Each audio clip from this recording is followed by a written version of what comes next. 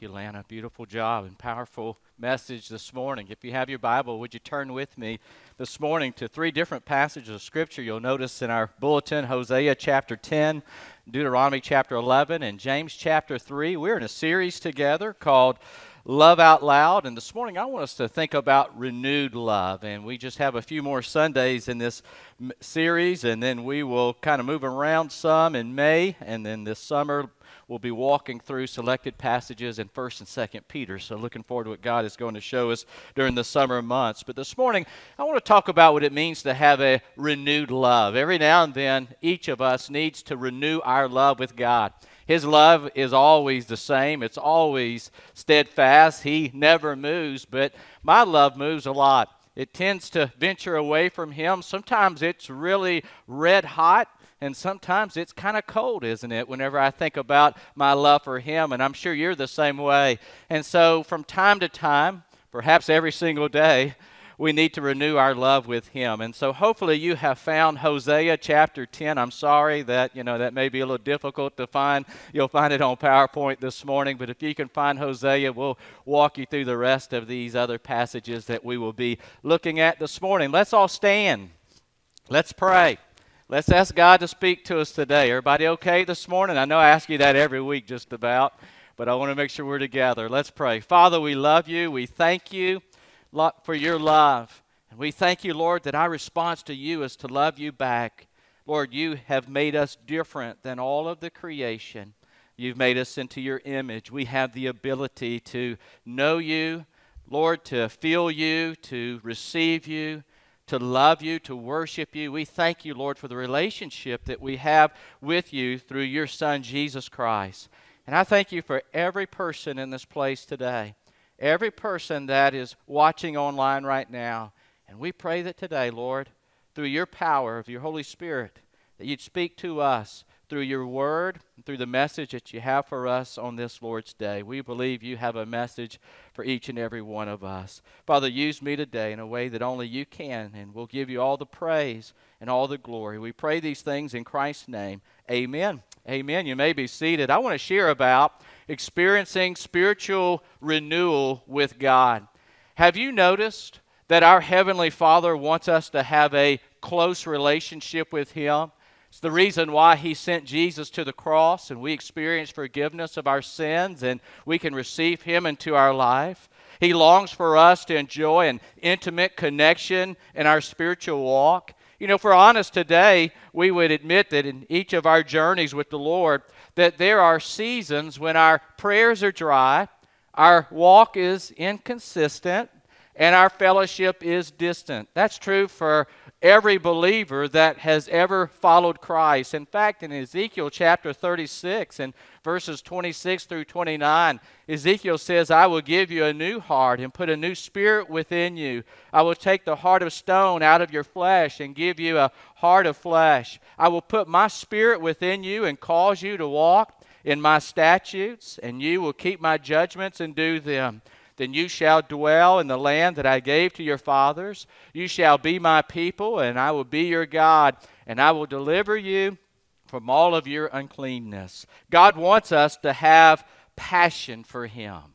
He wants us to be passionate about our relationship. He desires for us to be passionate about the things that He is passionate about. He wants us to be passionate about the things that He loves and that He cares about. It was Wesley Duewel who said, All other passions build upon or flow from your passion for Jesus. A passion for souls grows out of a passion for Christ. A passion for missions builds upon a passion for Christ. He says the most crucial danger to a Christian, whatever his role, is to lack a passion of Christ. And then he goes on to say the most direct route to personal renewal and new effectiveness is a new, all consuming passion for Jesus. And then he prays these words Lord, give us this passion, whatever the cost. Saying, Lord, help us to be passionate for you. Help us not to be lukewarm. Help us not to be laissez faire. But Lord, help us to be passionate in our relationship with you. The question today is Are you passionate about God and the things that are important to Him? Because if you've lost your passion, if I've lost my passion, then we need spiritual renewal. The story is told about a young student who went to his spiritual teacher and he asked the question. He said, Master, he said, how can I truly find God? The teacher asked the student to accompany him to the river that ran next to their village and invited him to go into the water. And when they got into the middle of the stream, the teacher said, Please immerse yourself in the water. Well, the student, not knowing what was about to happen, obviously, did as the master instructed, and, and then the master teacher put his hands on that student and he held him under the water. Well, the student began to struggle. The master held him even longer. A, a, moment passed by. That student started thrashing and beating the water uh, in the air with his arms, and still the master held him under a little longer than that. And then finally, he took his hands off of him. That student released and shot up from the water lungs aching and gasping for air, and the teacher waited for a few moments, and then he said, When you desire God as truly as you desire to breathe the air you just breathed, then you will find Him. It's that kind of a desire. Have you ever been there? Where you are that passionate to know Him and to follow Him and to walk with Him? How badly do you want spiritual renewal with the Lord? How badly do you want that kind of desire, that kind of walk with Him? Do you, do you want it as much as your next breath? Maybe a better question right now would be Do you want it as much as you want lunch today, right? I mean, how bad do you want spiritual renewal? It's the deciding factor because when we do want God to renew us as much as we desire our next breath, He will begin to challenge us and invite us to experience some awesome things. He will take us places that we've never been to in our journey with Him. And the truth of the matter is that so often we have moved in our relationship with God that we move not towards Him, but away from Him. And the only way to get back is to return to Him, to figure out where we got off track, to figure out where we made the wrong turn, and to get back to that place in our walk with Christ. He is the one that we need. And so this morning, I want us to,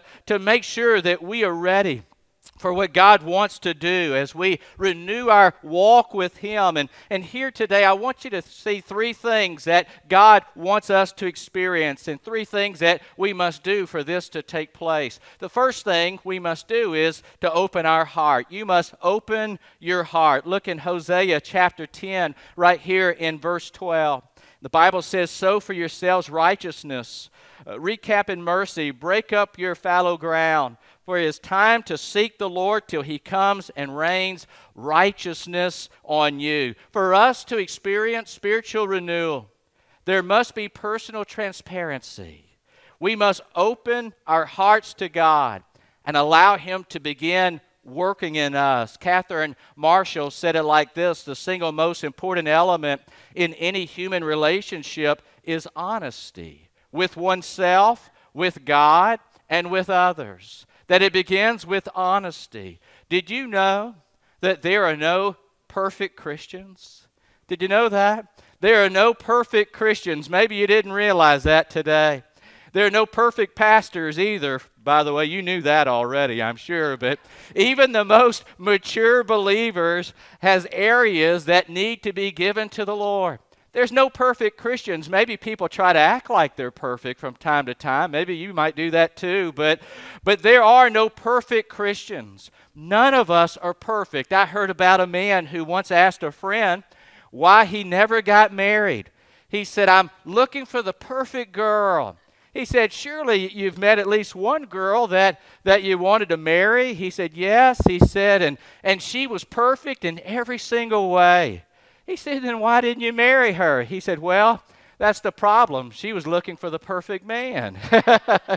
you know, some people think they're perfect, but you'll notice that we tend to hold back with our imperfections. We tend to hold back when it comes to our sins. We want His forgiveness, but we don't always desire to confess our shortcomings and failures. We want forgiveness, but we don't want confession. In 1 John chapter 1 and verses 8 through 10, John calls us to open our hearts to God when he says, If we say that we have no sin, we deceive ourselves, and the truth is not in us. If we confess our sins, he is faithful and just to forgive us our sins and to cleanse us from all unrighteousness. If we say that we have not sinned, we make him a liar, and his word is not in us. It is a call to transparency.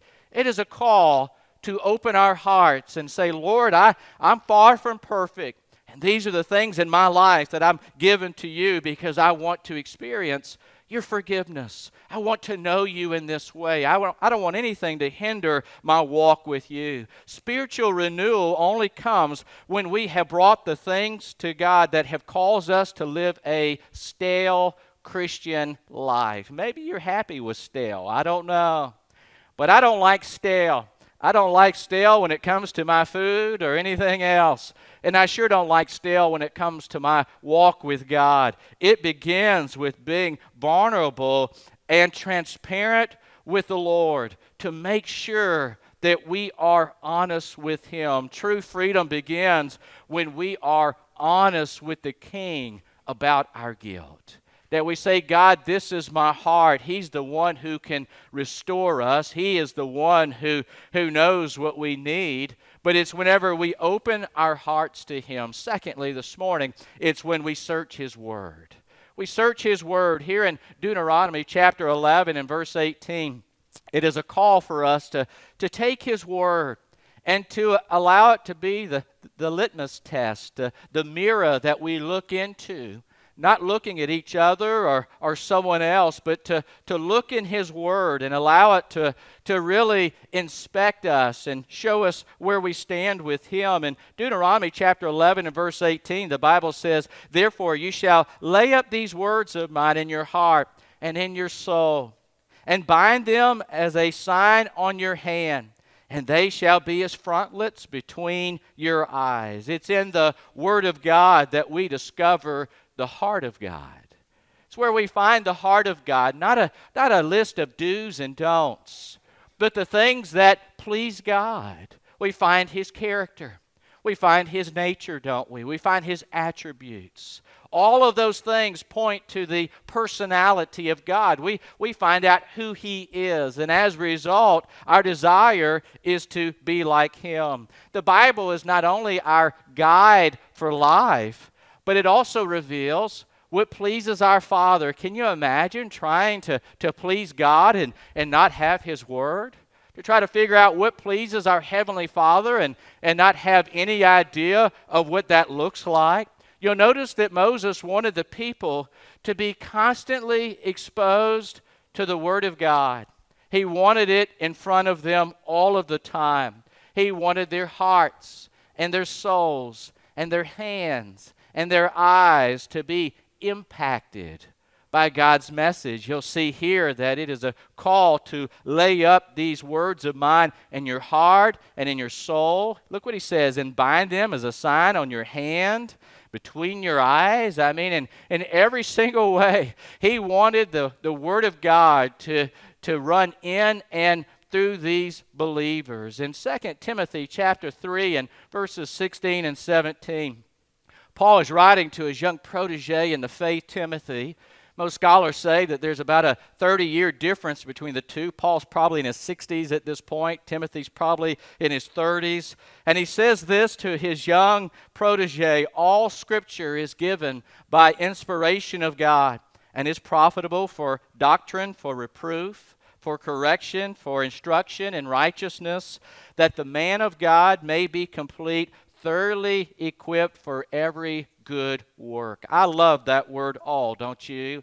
All scripture is given by inspiration of God. That everything that we read in His Word, listen, I've said it like this from, from the very front of my Bible where it has my name to the back where it says genuine leather, just in case you didn't know, I believe it all from one cover to the next that the Word of God has been given to us in all Scripture, not some Scripture, not most Scripture, but all Scripture is given by inspiration of God, that God led godly men to, to write His Word. And God wants us to search His Word because, as a result, He will begin to show us what is in our hearts and our souls and he calls us to obedience because the Word of God is not only for information, as you well know, it's for transformation. It is to, to move us, to, to help us to, to live for Him, not just to be really smart Southern Baptists and really intelligent Christians,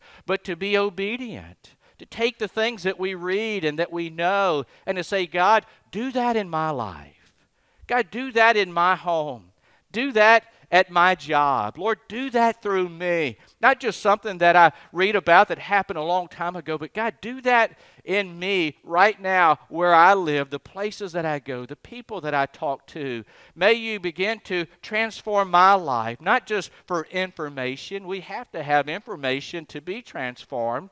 But it doesn't stop there, does it? That we say, God, not only transform my mind and my heart, but God, transform all of my life, that, that your word would just search me, and as a result, that I begin to, to live like you, to, to look like you, to represent you, that, Lord, I'm, I'm more like you than I've ever been, more like you today than I was a, a year ago, five years ago, ten years ago that there's Christ likeness. I, I see a pattern, not just more knowledge, but Lord, more obedience. I mean, that's really shows us whether or not we're on our way, doesn't it?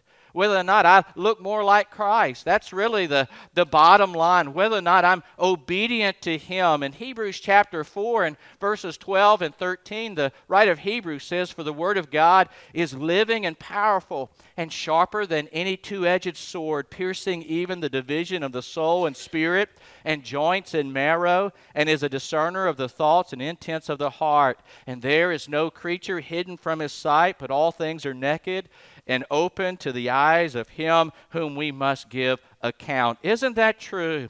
That the Word of God is sharper and more powerful than any two edged sword. It's able to, to open our hearts. It's able to expose them for, for what they really are. And it begins to, to not only provide uh, healing power, but allow us to be more and more like Christ. I love what Mark Twain said. I, I totally agree with his statement. This is so true in my life. He said, Most people are bothered by those passages of Scripture they do not understand. He says, But the passages that bother me are those I do understand.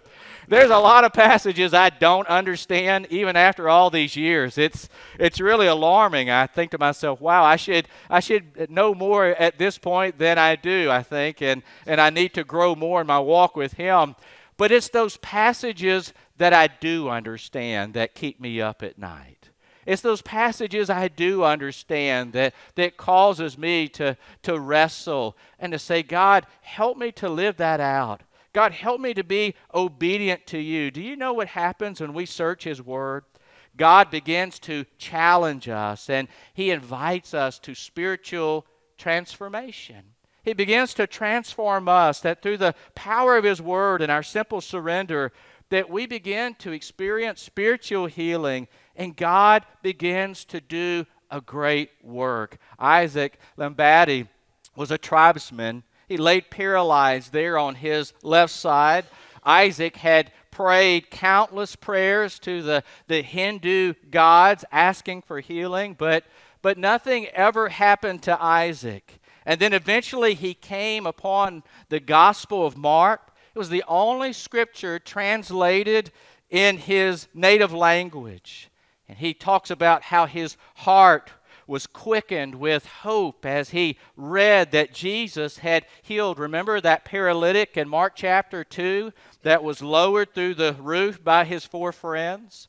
He says, Jesus, you healed that paralytic man. Please heal me. Well, time passed. Isaac continued to pray. And then first he noticed feeling in his limbs. Then he could move his hand then his entire arm. And within a few weeks, he got out of bed and he walked out of his house. Everyone that saw him, they proclaimed, The Hindu gods healed you. Everybody was proclaiming that message. And he went around. And Isaac said, No, it wasn't the Hindu gods that healed me. It was the God of this book holding the Gospel of Mark. And he said, He is the one true God. Can I say today that not only does He physically heal in circumstances today, but He also spiritually heals. He heals the hearts of His people. And when we begin to take His word and we begin to pray with all of our being for spiritual renewal and healing, God will respond to our plea. There is no doubt in my mind God wants to heal his people through spiritual healing. There's a third thing I want you to notice. Not only open your heart and search his word, but when you do, you'll find true renewal. In James chapter 4 and verse 8, here, James gives a great promise to us. It's one of those conditional promises that we find in Scripture. There are many promises that we find in God's Word, and they are conditional. It's dependent upon our response to what God is asking us to do. And here in James chapter 4, at the beginning of verse 8, probably a familiar verse to many of you today, uh, James says, Draw near to God. And here's the response, and He will draw near to you. Draw near to God, and He will draw near to you. We have an awesome promise from Almighty God that when we draw near to Him, that He will draw near to us.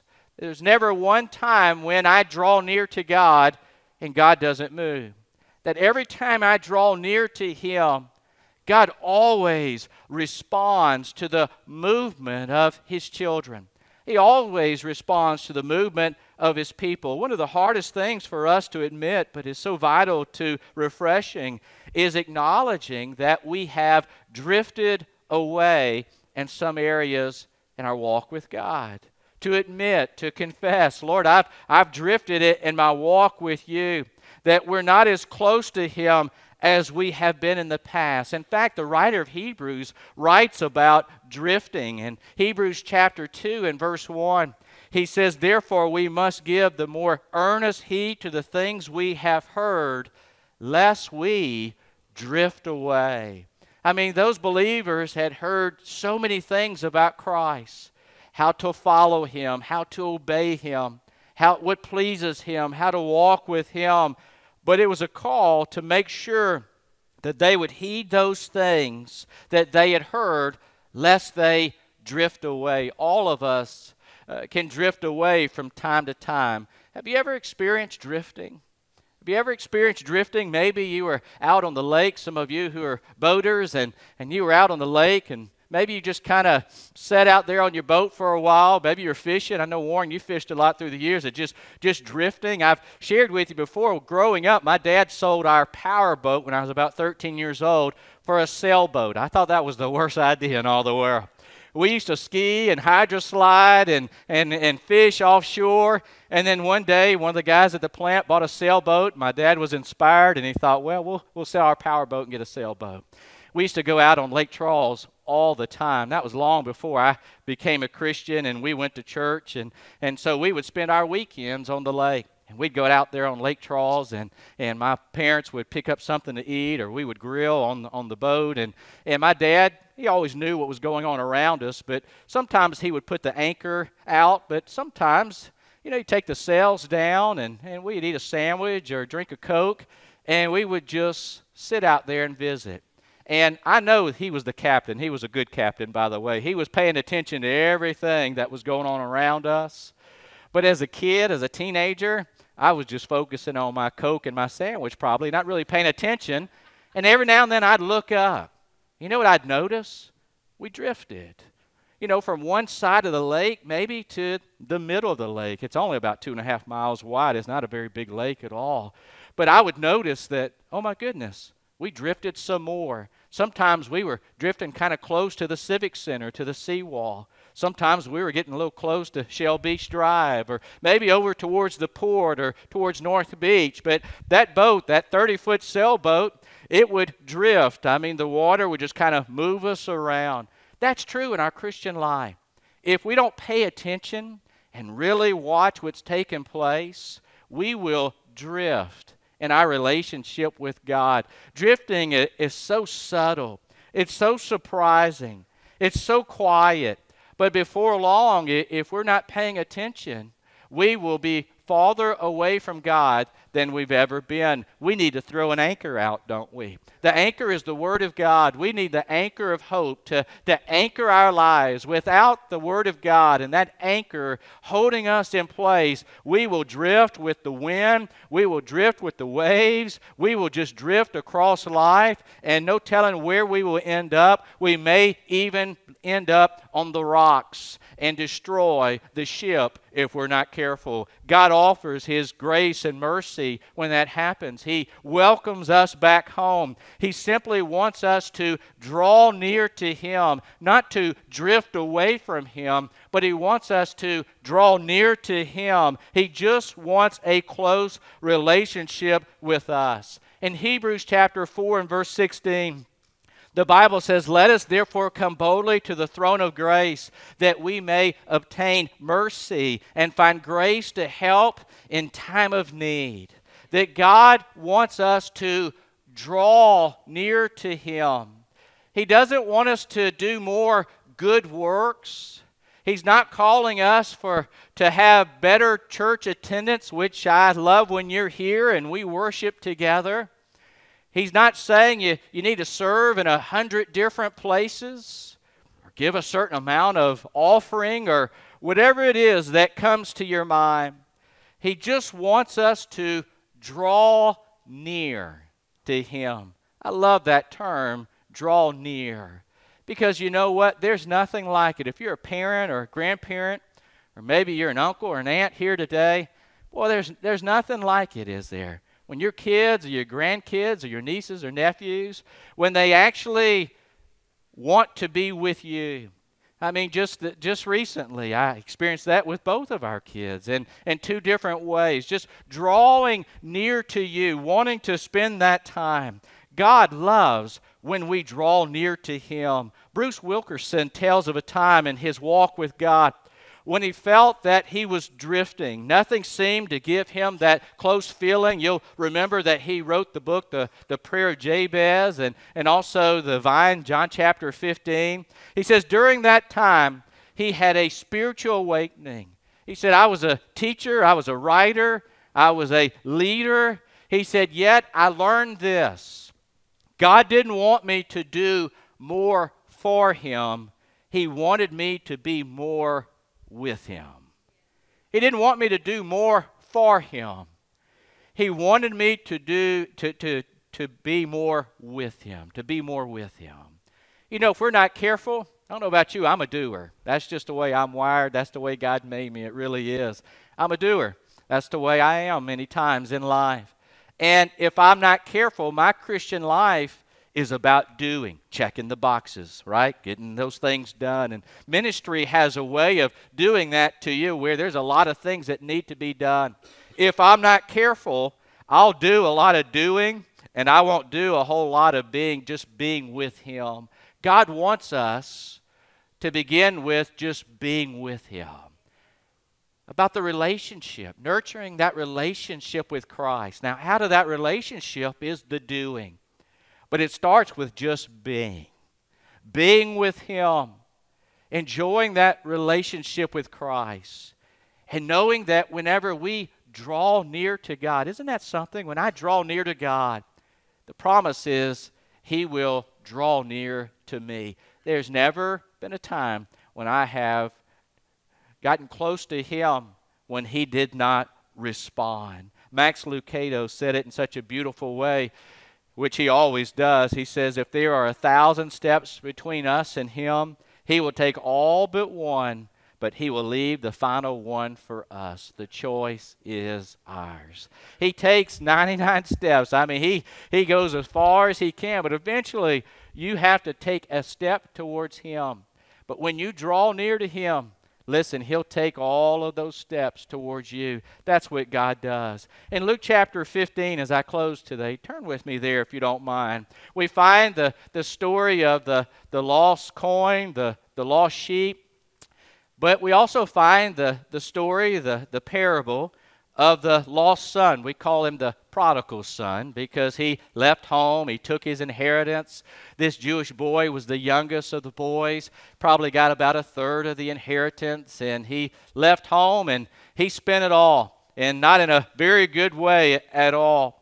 And then he ends up, this Jewish boy, remember, in a pig pen of all places, starving to death. His friends were gone because his money was gone and he had nobody there to help him. But I want you to notice in this parable that eventually he decided to draw near to his earthly father.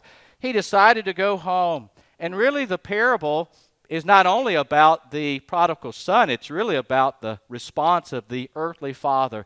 Look what he says here in Luke chapter 15 and verse 18. The Bible says, I will rise. Best thing he ever said. I will rise and go to my father and say to him, Father, I have sinned against heaven and before you, and I am no longer worthy to be called your son. Make me like one of your hired servants. And he arose and came to his father.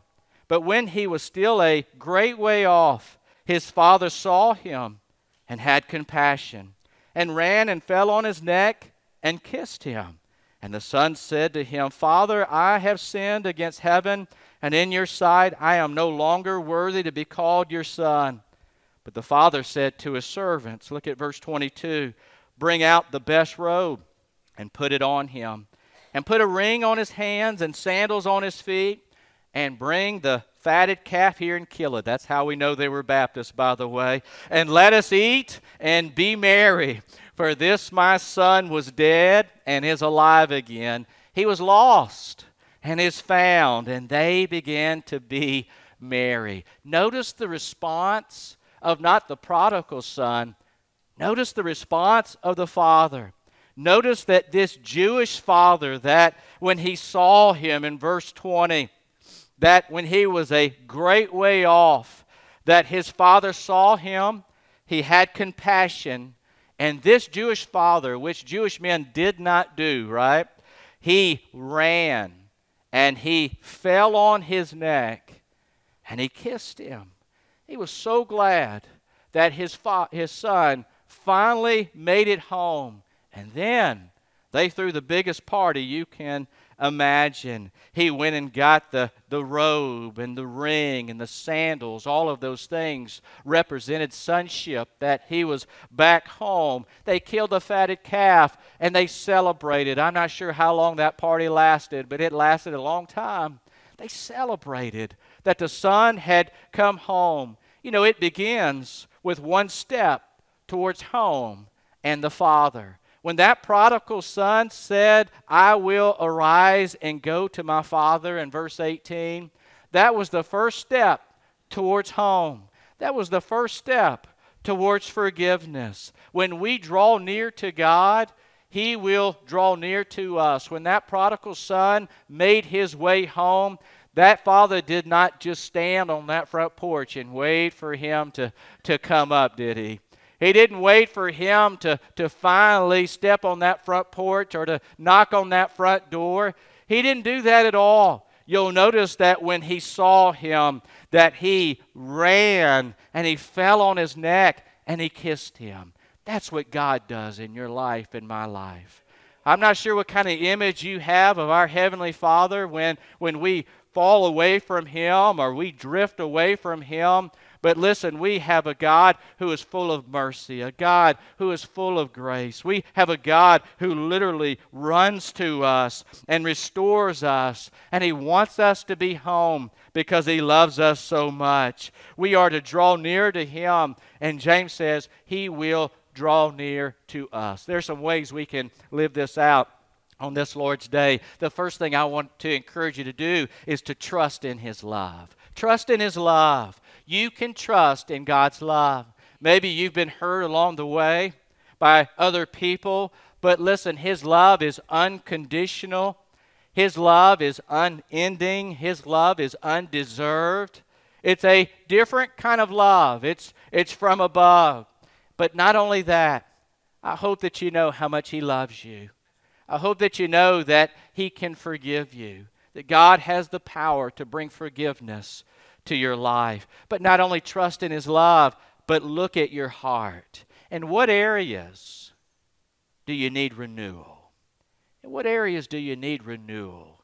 Maybe you just came to church today and you're thinking, Pastor, I wasn't even thinking about this. Wasn't even on my radar. But now it is.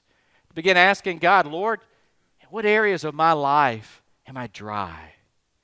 In what areas of my Christian walk with you am I stale? What areas of my Christian life have I left home? Maybe not completely, but some areas in your life and my life where we need restoration. Ask God to, to reveal your heart. What does it look like? Not just to you, but what does it look like to Him? He'll show you. Thirdly, be honest with God. He, he already knows the diagnosis. Confess your sins to Him, experience forgiveness and freedom, but be honest with Him. Say, God, show me my heart, show me my life. Expose it like like the scripture tells us in Hebrews, where the word of God is sharper than any two-edged sword. May you just just lay my heart open, show me my heart today. And then fourthly and finally, live close to him. Live closer to the Lord than ever and know joy, uh, renewed excitement, uh, fresh dedication to get back to that first love that, that maybe you haven't experienced in, in years, maybe since you first became a, a follower of Christ, because God longs for us to be in a close relationship with Him, the closest relationship in all the world. And He says that when we draw near to Him, isn't that beautiful? That when we draw near to Him, that when we draw near to Him, He will draw near to us. That's a promise, and we find it in the Word of God. Father, we thank you for your Word today. We thank you, Lord, that when we drift away from you, that, Father, you have the ability to, to call us back to yourself. You have the ability to show us where we have erred. And we pray today, Lord, that you would just show us our hearts, show us where we have drifted. Help us, Lord, to hear your voice and to follow you. And I thank you, Lord, today for your grace. I thank you that you don't just abandon us and three strikes you're out and turn us away. It's just the opposite. It's just the opposite. We thank you, Lord, that when we leave home like that prodigal son, that you long for our return and you actually celebrate when we make it home. No questions asked. That's grace. Help us to be that way with one another. Help us to be that way with people that you've brought to us. I pray for those that have never trusted you as their Savior in this service, those watching online have never given their lives to you. And Father, today they can experience that kind of love. It begins with asking you to come into their life, to be their Savior, to be their Lord, to forgive them of their sins, and to make a commitment to follow you. I pray for those here today in this place that have never made that decision. As we begin to sing in a moment, Lord, may they make that commitment. May they draw near to you. Just draw near to you. As they draw near to you, by asking you into their lives, Father, you will draw near to them. You've never turn anyone away. I pray for all Christians in this place today. Father, help us to be honest and open to you. That we would pray that you would show us, Lord, where we've drifted. Help us to begin to come back to you and renew that relationship. We pray for those looking for a church home, place to serve, commit their lives to grow, to help reach this community. And Father, I pray if you're leading them to this place, Lord, that they would say yes to you on this Lord's day. Father, we thank you for what you have done. And we pray that you would help us to be like that clay in Jeremiah chapter 18 with the potter Help us to be, be moldable, usable in the hands of the great potter. We pray this and we ask this in Christ's name. Amen. Amen. Amen. Won't you stand?